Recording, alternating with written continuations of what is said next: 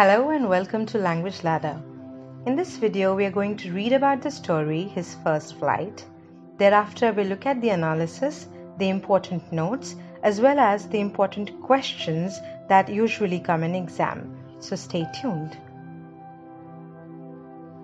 The important characters of the story are young seagull, who is the main character, mother seagull, father seagull, and two brothers and a sister of the young seagull.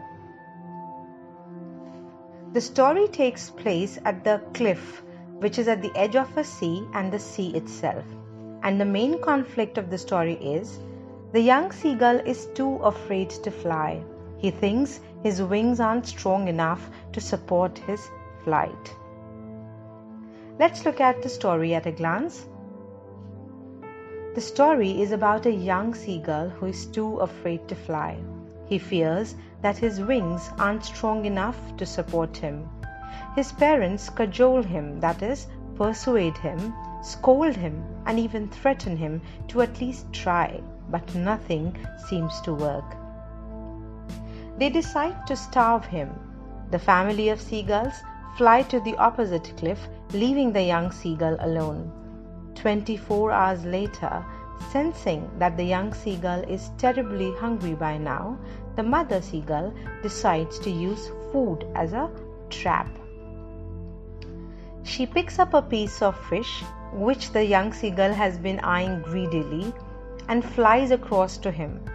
She then tricks him to come to the edge of the cliff as she halts a little away from the edge of the cliff. Blinded by hunger, the young seagull could no longer stop himself.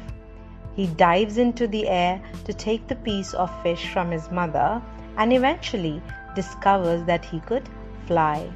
All he needs is to trust his wings. The story successfully captures how important it is to trust one's abilities and overcome fear in order to be successful in life. In the next part of the video, we'll look at the important incidents and exam questions based on them. Pay attention to the red boxes on the right, which covers the questions that can be asked based on the incidents that we'll discuss. The first paragraph introduces the main character and the main conflict of the story. The young seagull was standing on his ledge alone. His two brothers and a sister had already learned to fly, but he was too afraid to fly with them. He was unable to trust his wings and feared that they weren't strong enough to support him.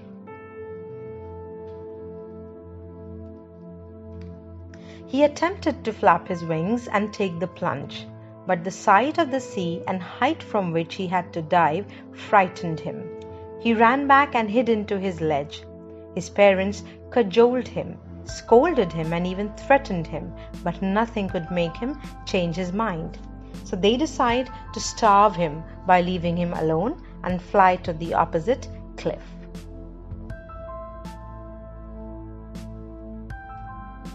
The next part of the story shows what happens 24 hours later. The young seagull is miserable.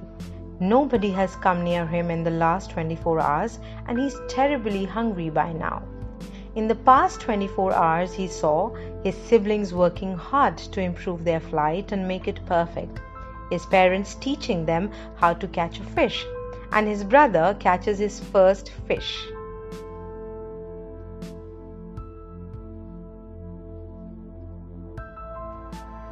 He could see his parents and siblings taunting him for being a coward.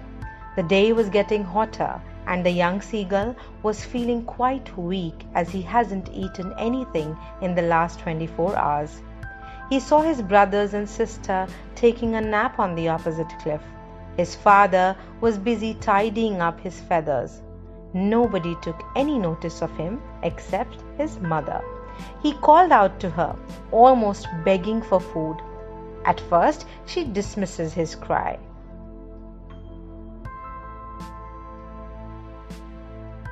A few minutes later, to the young seagull's surprise, his mother picks up a piece of fish and flies across towards him.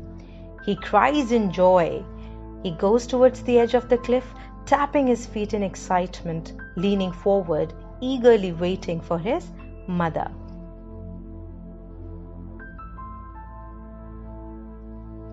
As soon as she reaches close enough to the young seagull, she stops in the middle of the air.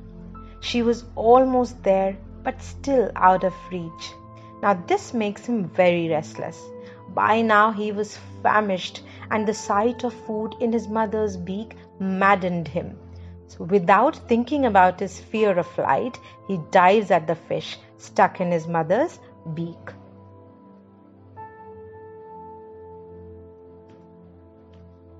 And the next second he finds himself falling. His heart stops beating for a moment.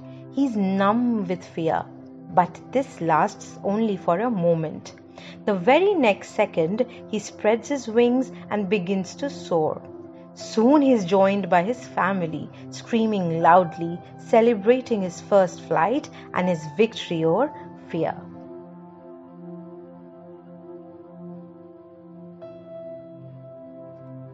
The young seagull soon forgets all about his fear and enjoys this newfound freedom. It's liberating for him. He soars and dives freely in the air. Soon the family lands on the green flooring, that is, the sea. The young seagull follows them.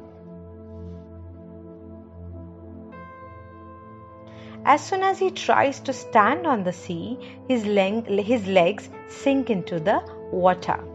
He screams out of fear and tries to fly again. But he hasn't got any strength left in the body as he was too hungry and tired by this new exercise. Then his belly touches the water and he begins to float. Once again, his family praises him for his efforts and offers him scraps of dogfish as his reward.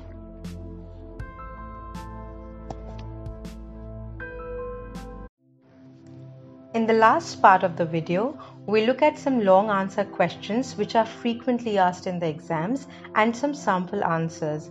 Please read these questions and answers carefully as they'll help you prepare for, for your exams better.